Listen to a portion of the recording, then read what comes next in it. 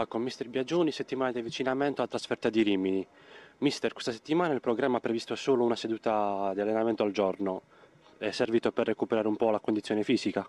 Normale per la tenuta, ma più che altro per il lavoro tattico, perché la squadra per, per molti, su molti uomini è rinnovata, perciò bisogna mettere anche noi arrivati delle idee e dei concetti che avevamo già fatto in preparazione, che però purtroppo per, per il cambio di categoria sono stati più, più tempo perso che non altro.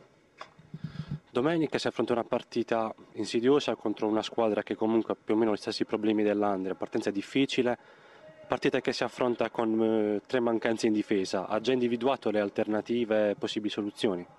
Sì, sì, abbiamo diversi giocatori, certamente non ci dà, non ci dà un grandissimo imbarazzo de, della scelta, però insomma dobbiamo fare di necessità virtù, la squadra si sta preparando bene, perciò sono abbastanza fiducioso.